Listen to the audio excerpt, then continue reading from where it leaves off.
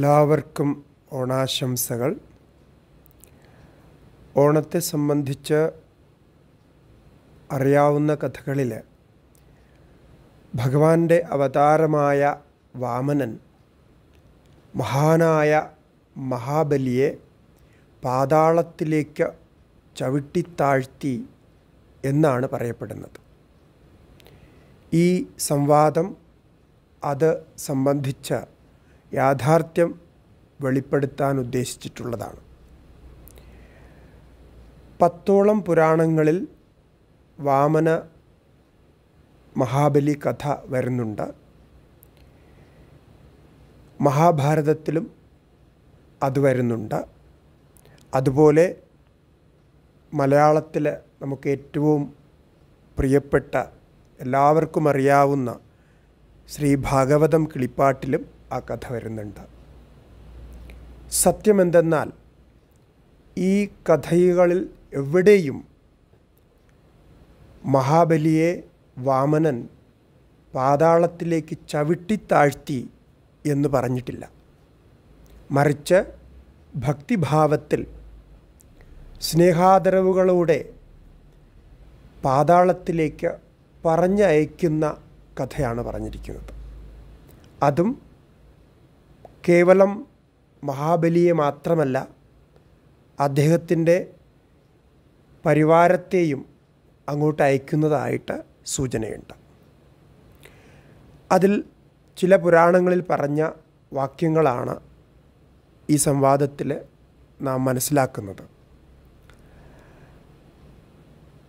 വാമന പുരാണം എന്ന പുരാണത്തിൽ സുതലം നാമ പാതാളം വസുതാ തലാത് ബലേർദത്തം ഭഗവത വിഷ്ണുന പ്രഭവിഷ്ണുന. സുതലം എന്ന പാതാളത്തിലേക്ക്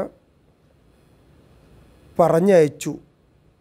അങ്ങനെ പറഞ്ഞയക്കാൻ മഹാവിഷ്ണു ഭഗവാൻ സ്വയം തന്നെ ആ സ്ഥാനം അദ്ദേഹത്തിന് കൽപ്പിച്ചു കൊടുത്തു എന്നാണ് പറയപ്പെടുന്നത്.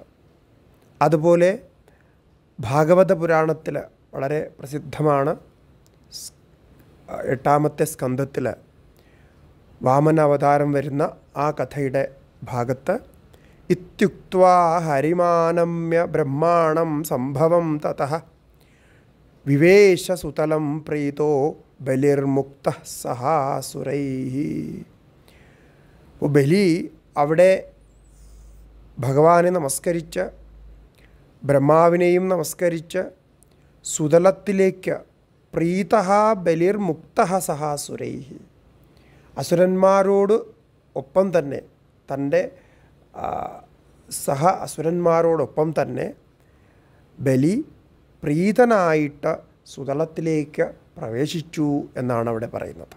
പത്മപുരാണത്തിൽ തതോ നാരായണ ശ്രീമാൻ ബലിം ദൈത്യപതിം പ്രഭു. രസാതലം ശുഭം ലോകം പ്രദതോ ഭക്തവത്സല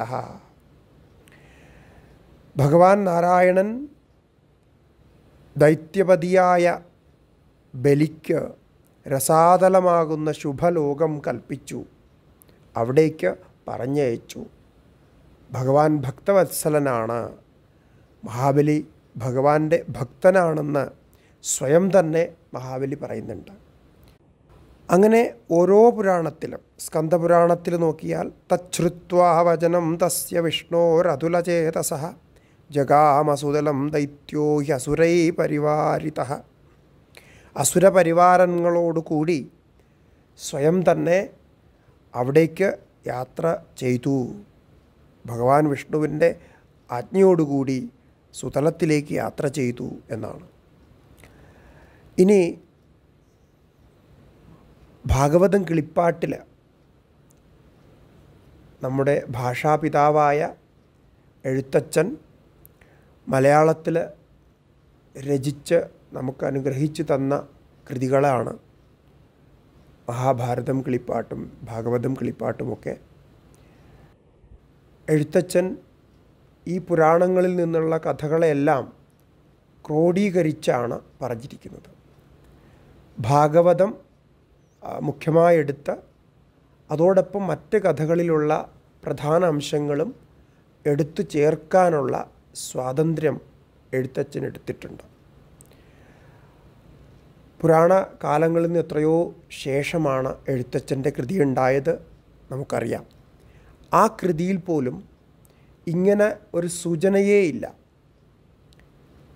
വാമനൻ മഹാബലിയെ പാതാളത്തിലേക്ക് ചവിട്ടിത്താഴ്ത്തിയെന്നോ അല്ലെങ്കിൽ അങ്ങനെ ഒരു ആക്രമകമായ രീതിയിൽ പ്രവർത്തിച്ചുവെന്നോ അവിടെ സൂചിപ്പിക്കുന്നേയില്ല അങ്ങനെ അക്കാലത്ത് എന്തെങ്കിലും കഥകൾ ഉണ്ടായിരുന്നുവെങ്കിൽ തീർച്ചയായിട്ടും എഴുത്തച്ഛൻ അത് സൂചിപ്പിച്ചേനെ. എഴുത്തച്ഛൻ പറയുന്നത് ആ കിളിപ്പാട്ടിൽ നോക്കിയാൽ കേവലമിനി മമ ലോകം പ്രാപിക്കുമിവൻ സാവർണമനുവിങ്കലിന്ദ്രനാകയും ചെയ്യും. അത്രകാലവും സുതലത്തിങ്കലിരിക്കോയത്യന്തം മമപദഭക്തിപൂണ്ടനുദിനം. തൽക്ഷണം പ്രദക്ഷിണം ചെയ്തുടൻ നമസ്കരിച്ചുൾക്കനിവയന്നതി ഭക്തനാം പ്രഹ്ലാദനും. ചെന്നവർ മുകുന്ദ പാദാബ്ജവും ധ്യാനിച്ചുകൊണ്ട് അന്വഹം സുതലത്തിൽ വാണാരങ്ങിരുവരും. എന്നാണ് വരികൾ പോകുന്നത്. അവിടെ വിസ്തരിച്ച വർണനയുണ്ട്. ഇതിൽ ഒന്നും അവിടെ ചവിട്ടിത്താഴ്ത്തിയെന്നോ അങ്ങനെയുള്ളൊരു ഭാവവ്യത്യാസമേ പറഞ്ഞിട്ടില്ല. മറിച്ച് അവർ വളരെ സ്നേഹത്തോടു കൂടി ഭഗവാനോടുള്ള ആദരവോടുകൂടി മഹാബലിയുടെ പ്രഹ്ലാദനോടും കൂടി അങ്ങോട്ട് പോയി എന്നാണ് പറയുന്നത്. ചെന്നവർ മുകുന്ദ പാദാബ്ജവും ധ്യാനിച്ചുകൊണ്ട് അന്വഹം സുതലത്തിൽ വാണു എന്നാണ് പറയുന്നത്. ഭഗവാൻ സാവർണ മനുവി കാലത്ത് മഹാബലിക്ക് ഇന്ദ്രപദം ലഭിക്കുമെന്ന അനുഗ്രഹവും അവിടെ കൊടുക്കുന്നു. അപ്പോൾ തീർച്ചയായിട്ടും നമ്മൾ ഇത് മനസ്സിലാക്കണം. ഈ കഥയെ വളച്ചൊടിച്ച് അതിന് കഥയുടെ മുഖ്യമായ ഭാഗം തന്നെ വളച്ചൊടിച്ച് അതിൽ പ്രദ്വേഷമുണ്ടാക്കുന്ന രീതിയിൽ അല്ലെങ്കിൽ കേൾക്കുമ്പോൾ ഒരു ദുഃഖഭാവമുണ്ടാകുന്ന കരുണഭാവമുണ്ടാകുന്ന രീതിയിൽ ഏതൊക്കെയോ ആൾക്കാർ എഴുതി ചേർത്ത കഥകളാണ് നമ്മൾ കുട്ടികളുമൊക്കെ പഠിപ്പിക്കുന്നത്. എല്ലാവരും കേട്ട് വളരുന്നത്. തീർച്ചയായിട്ടും അതിന് മാറ്റം വരണം. പുരാണങ്ങളിൽ ഇല്ലാത്ത കഥ പുരാണങ്ങളുടേതായിട്ട് പറയപ്പെടാൻ പാടില്ല. ഇനിയെങ്കിലും അത് മാറ്റണം.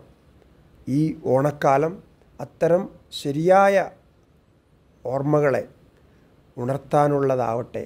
എല്ലാവരിലും സാഹോദര്യവും സാമ്യതയും സമാന ഭാവവും കൊണ്ടുവരുന്ന ആ സുന്ദരമായ ഓണത്തെ അങ്ങനെ തന്നെ നമുക്ക് അംഗീകരിക്കാം.